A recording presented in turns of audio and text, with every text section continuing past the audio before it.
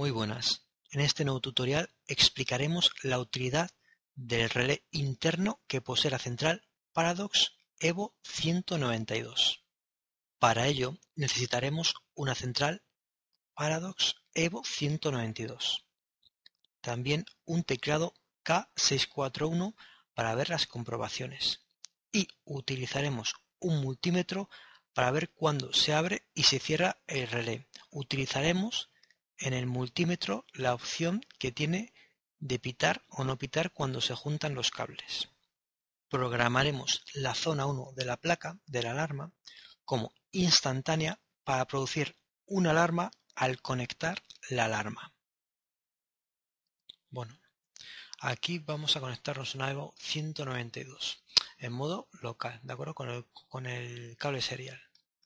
Nos conectamos y vamos a programar la zona 1 para que sea instantánea y así provocar una alarma y ver qué finalidad tiene el relé que posee la EVO 192. Entramos en programación. Vamos a ver. No. Ya estamos. hacemos la caso, no hacemos caso. Y la zona 1 la hacemos instantánea y atribuimos a la zona 1 de la placa. Mandamos página actual, start, no ponemos ninguna etiqueta pues solamente para hacer la prueba. Vale, y guardamos, siempre hay que guardar antes de desconectarte. Guardando abonado, vale, y ahora me desconecto. Y hasta aquí esta parte. Bueno, ahora nuevamente nos vamos a conectar a la central, vale, para configurar o para ver cómo, para qué sirve, digamos, el relé de la placa. Autentificando, de acuerdo. Ahora nos vamos a la hoja de programación del módulo, se programa la, EVO. Vale. Ahora que nos abra la ventana de programación. Vale. Le hacemos caso y ahora vamos donde las PGMs, ¿vale? Si ustedes ven, en la placa hay cuatro PGMs, 1, 2, 3, 4. Y aquí ponen el programa PGM 5. PGM5 corresponde al relé.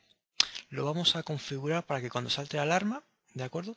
Se, digamos, se, cierre durante 5 segundos y a los 5 segundos se vuelva a abrir, ¿de acuerdo? Vamos a poner que sea salto de alarma. Vamos a ver. Vamos a ver. Zona en alarma, ¿de acuerdo? La zona, la 1 que hemos programado. Y el fin de rango, la zona 1. 5 segundos y PGM por tiempo. La mandamos la información. ¿De acuerdo? Está mandada. Esta configuración se puede hacer igual que las PGMs.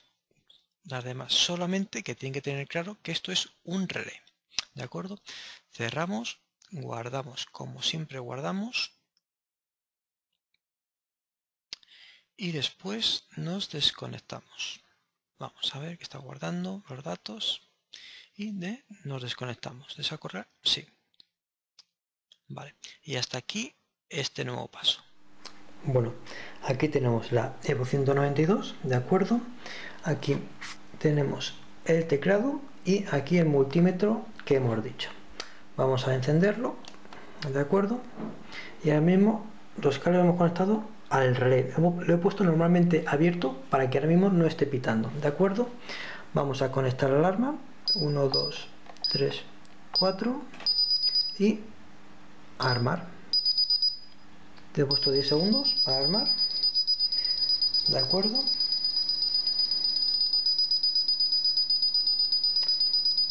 Vale, ya está armado, ¿vale? Ahora doblamos para hacer la alarma y se pondrá a pitar. Y ahora, los 5 segundos, 1, 2, 3, 4, 5 y se ha quitado. Y ahora desconectamos la alarma. ¿De acuerdo? Vale. Vale, y aquí podríamos haber visto para qué sirve la funcionalidad del relé. Y hasta aquí este nuevo tutorial. Espero que sepan utilizar el relé de la placa de la Evo 192 y le saquen toda la utilidad posible. Espero les haya gustado el tutorial, un saludo y muchísimas gracias. Si quieres saber más sobre seguridad electrónica, suscríbase a este canal o visite nuestra página web o de Facebook, Seguridad Electrónica y algo más, donde continuamente ofreceremos información sobre esta área, que puede ser de su interés. Espero les sirva de ayuda, un saludo y muchísimas gracias.